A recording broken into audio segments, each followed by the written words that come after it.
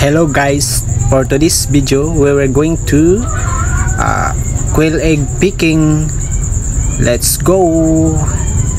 Yeah, so many, so many eggs, guys. You know, over here.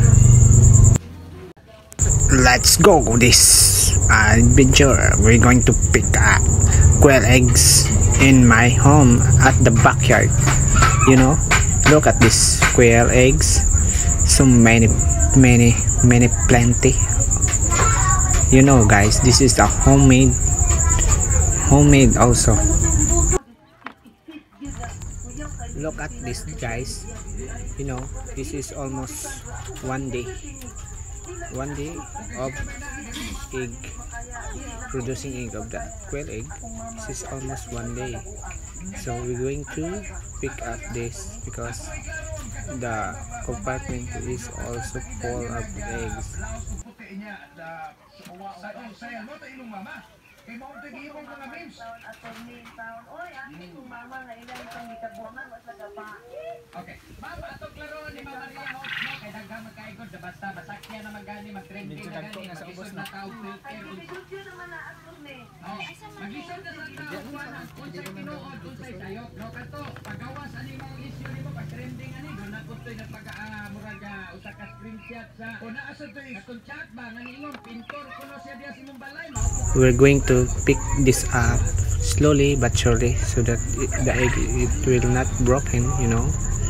If it is damaged it is also reject for going to sell this in the market for one peso and 50 centavos. You know very cheap also ko kung gi sa pila nako ila nang gi kuan kuan lang akong balay wala kami na human wala kami na human No. lagi ni. Ha? Laki ni ka pa. Sunod anay lang ning walk out Aha. wala niya humanayan kung kontrata which is Tungod siguro na sa laying mas. ko. Makuha ka, niya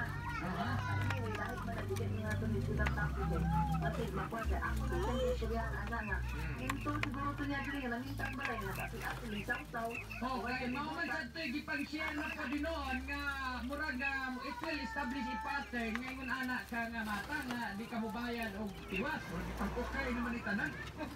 Hindi ato ni, wala. Ah, mga tao diri, mga pana mo, kamo na yung dito ko.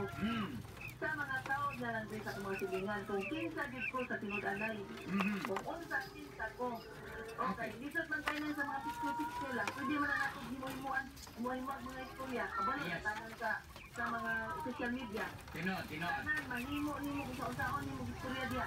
Hmm. Social media. Wabit ang gid ni. Mao gid taon ni amo gid mo gipanahan amo gid gipanahan mamariho para maklaro tanan. Tanan dito na ipinta-pinta. Ayo ano balay. Hmm. Na siya.